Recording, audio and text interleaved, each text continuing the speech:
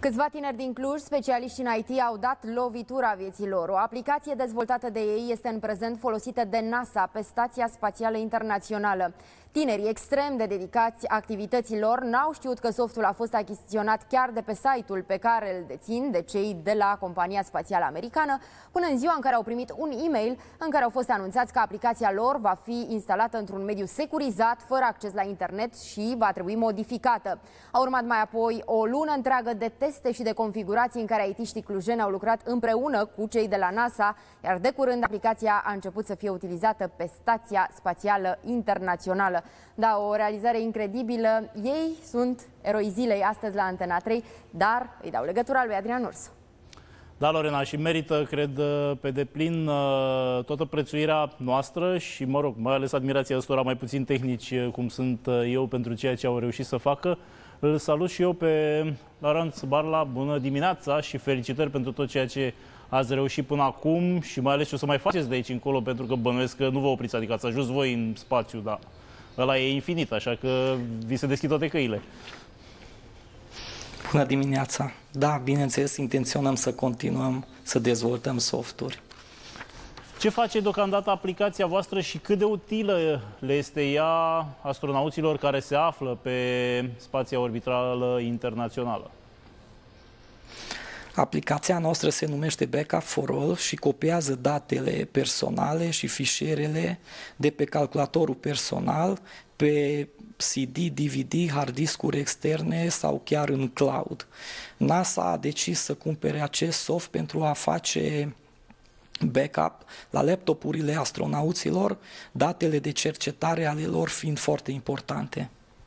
Deci în felul ăsta voi ați creat un fel de arhivă securizată pentru tot ceea ce reușesc să agonisească, să zicem, astronauții ca informații acolo în spațiu în timpul activităților lor de cercetare, fără să existe riscul ca, Doamne ferește, crapă laptopul, se pierde tot ce au, tot ce au cules, nu? Bineînțeles, deci acolo în spațiu, din cauza radiațiilor, laptopurile se strică mai des și NASA are nevoie de un fel de program care să copieze toate datele fără asistență și care după aceea datele acestea se pot uh, reinstala pe calculatorul respectiv în, caz, în, în cazul în care laptopul se strică. Bănuiesc că și aici, uh, pe pământ, precum și în cer, uh, e foarte utilă și ea poate fi folosită și de civil, să zicem așa, nu numai de, de specialiști pentru a-și salva propriile date, cum spuneați, inclusiv cele personale, nu? Bineînțeles, uh, avem foarte mulți clienți din SUA și din Canada și din Australia care folosesc aplicația noastră. Aplicația se poate cumpăra online cu un credit card de pe site-ul nostru. Configurarea este foarte ușoară și după aceea nu mai este nevoie de interacționare, de interacțiune cu utilizatorul pentru a face backup la date. De cât timp lucrați la proiectul ăsta și, uh, și mai ales cât de original e față de alte soluții care bănuiesc că existau și până, până la apariția uh, propunerii voastre? Aplicația am început să o dezvoltăm în anul 2002 și primele vânzări le-am avut în anul 2003. Între timp am dezvoltat șase versiuni noi ale aplicației pentru că trebuie să ținem pasul cu concurența, deci trebuie să adăugăm noi feature-uri și să inventăm alte opțiuni care ceilalți încă nu le au.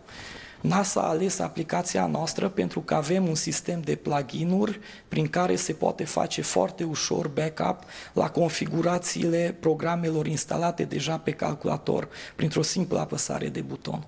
Aici în țară ați primit vreo recompensă simbolică, nu știu, vreo distinție? Va strâns cineva mâna dintre reprezentanții Ministerului Cercetării sau, eu știu, al alte instituții care ar trebui să încurajeze astfel de inițiative și de proiecte?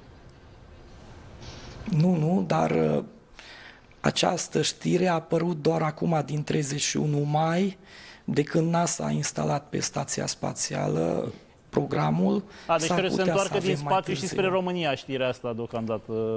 Mai, mai circulă așa în stratosferă, bănesc. Probabil. V-ați îmbogățit de pe urma acestei aplicații? Că știi că lumea se întreabă, domne, deci au dat românii lovitura, uite, au făcut o chestiune pe care au cumpărat-o și americanii au cumpărat-o, companii mari. Faci bani mulți dintr-o astfel de dezvoltare informatică? Deci ideea este că această aplicație se vinde de mai multe ori, deci o dezvoltăm o dată și vindem de nelimitate, de un număr nelimitat de ori. Deci uh, nu putem zice că ne îmbogățim despre, de după această aplicație, dar uh, câștigăm destul. Ce urmează? Care e următoarea lovitură și când o să auzim, desigur, din nou de voi? Să sperăm că prin faptul că NASA a cumpărat acest program vom atrage atenția și la alte companii mai mari pe pământ care vor cumpăra mai multe licențe. Dar pe pământ românesc veți rămâne? N-aveți de gând uh, să o luați așa înspre valea aia cu silicoane? Nu, nu, aici o să continuăm să dezvoltăm programele. Firma noastră este din România și o să rămână în România.